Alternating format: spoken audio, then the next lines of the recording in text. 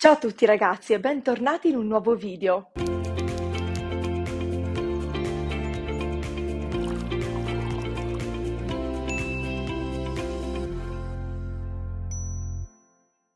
Oggi ho deciso di girare una sorta di mini vlog eh, per portarvi con me alla riunione del Club del Libro.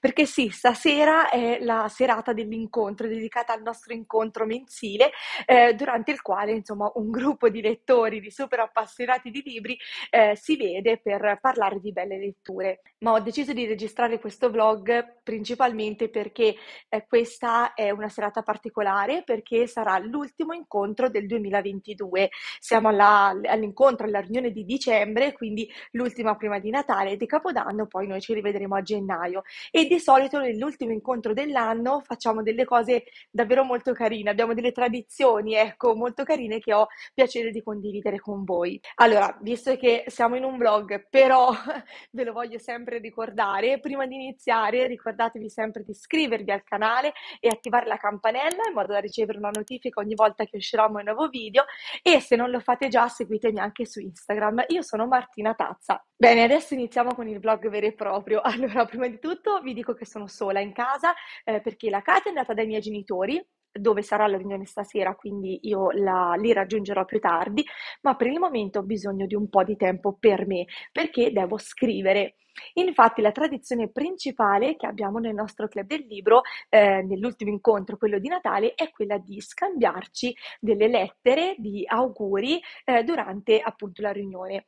Ma come funziona? Praticamente ognuno di noi scrive una lettera rigorosamente a mano, quindi con carta e penna, ehm, da dedicare ecco, ai, ai, vari membri del club, ecco, non, non a una persona singola, e poi alla riunione prendiamo tutte le lettere, le mescoliamo e ognuno ognuno pesca eh, una, una lettera. In questo modo ogni membro riceve una lettera da un altro membro eh, a caso ecco, de- del club del libro, le leggiamo ad alta voce e poi le teniamo per ricordo. Quindi insomma questo è un modo eh, che abbiamo ormai da diversi anni eh, di farci gli auguri di Natale, di augurarci tutto il, il meglio per il prossimo anno, ma anche un buon modo per ricordare tutte le belle letture, le belle esperienze fatte durante l'anno appena trascorso. Quindi adesso mi metto subito a scrivere, però prima eh, vi dico che durante la riunione di stasera parleremo della vincitrice del premio Nobel per la letteratura Annie Ernaux, la quale è la protagonista della riunione di oggi. Ogni membro del club ha letto un'opera diversa di questa autrice, così ci confronteremo eh, su, sulle sue opere. Successivamente, quindi dopo la discussione, ci sarà la votazione della lettura per il mese prossimo e di solito io a dicembre chiaramente propongo tutti i libri a tema natalizio. Il fatto è che lo facciamo da tanti anni. I libri cominciano a scarseggiare perché non vengono pubblicati ogni anno così tanti libri a tema natalizio o comunque io cerco sempre di titoli che siano abbastanza carini, insomma, che abbiano delle buone recensioni per non proporre letture un po' scontate o mh, mm, che non siano interessanti. Quindi quest'anno ho deciso di cambiare e il tema saranno le favole, che comunque secondo me nel periodo di Natale ci stanno sempre. Adesso vi faccio vedere. Ecco qua, questi sono i libri di cui vi parlavo, le fiabe di cui vi parlavo. Ho sbagliato, stasera non voteremo uno o due di questi, ma eh, ce li divideremo per cercare di leggerli tutti, perché si tratta di una serie di otto libri, non una serie nel senso che sono collegati, ma nel senso che fanno parte della stessa collana, otto libri, e la collana si chiama A Twisted Tale.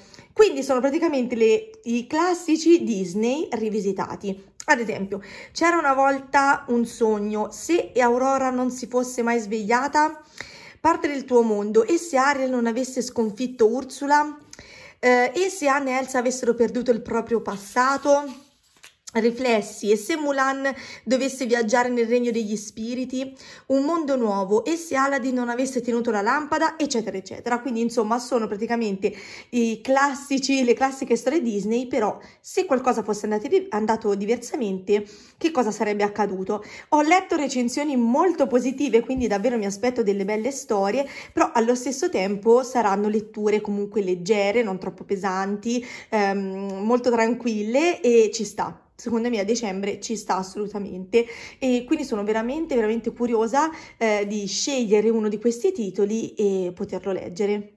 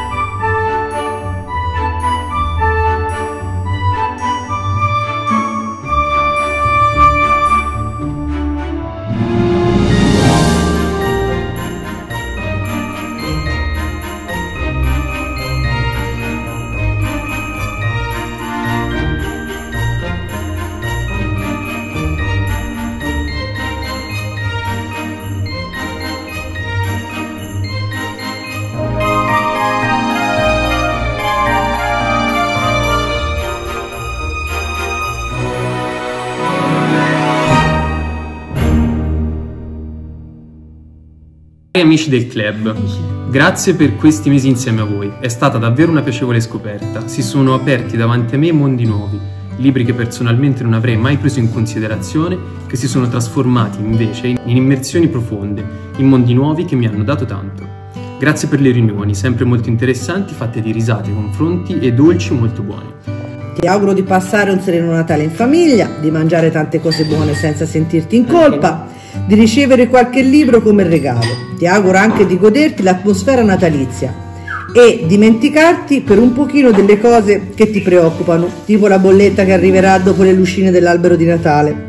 Perché il Natale è bello per questo, fa ritornare tutti un po' bambini, almeno per un giorno. La tua amicizia è sempre stata per me un porto sicuro.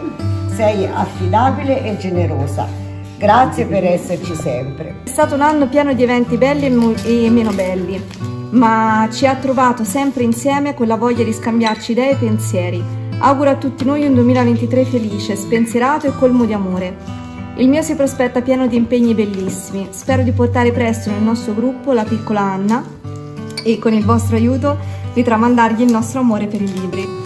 Giunti quasi alla fine di questo anno, segnato ancora da pandemie, guerre, inflazioni, povertà, inquinamento, cambiamenti climatici e che più ne ha più ne metta, ti auguro solo eh, di rimanere la persona splendida che sei e di riuscire a leggere un sacco di bei libri e anche un paio di zeri in più sul tuo conto corrente, qualcuno che scaldi le tue notti come eh, una termocoperta. Quindi grazie per essere la persona preziosa che sei, per la tua unicità e per il tuo supporto.